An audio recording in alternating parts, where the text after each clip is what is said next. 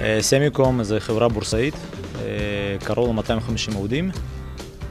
אה, אנחנו מייצגים חברות בצורה בלעדית, כמו GP, בוסטון פאוור, התחום העיקרי זה תחום ההייטק וקמעונאי. תחום, איך אנחנו משתלבים בעצם בתחום המדיקל, חלק מהחברות שאנחנו מייצגים בצורה בלעדית זה כמו תדירן, סוללות,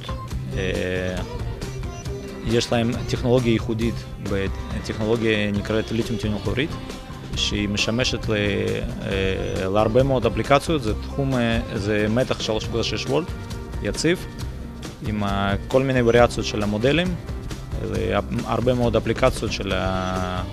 של ה-Backup, של האנרגיה, מקור אנרגיה. אנחנו נותנים פתרון, פתרון כולל, שלמשל יש חברה, חברות שהם קונים מאיתנו את הפאנל PC.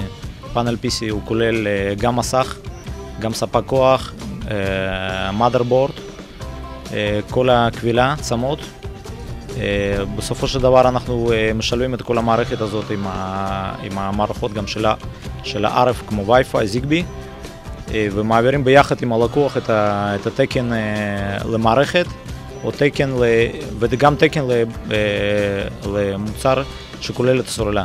כמובן לסוללה יש תקן, תקן UL או IC6233, מעבירים אחר כך תקן לפק. שהוא כולל סוללה ותקן אה, כולל שהוא תקן למערכת שלמה. בנוסף אנחנו גם אה, מייעצים ואומרים אה, ללקוח מדיקלי שמשהו יותר חשוב, לפני הדיזיין זה חשוב לדעת את הלונג'ביטי של, המוצ... של החלק או מוצר.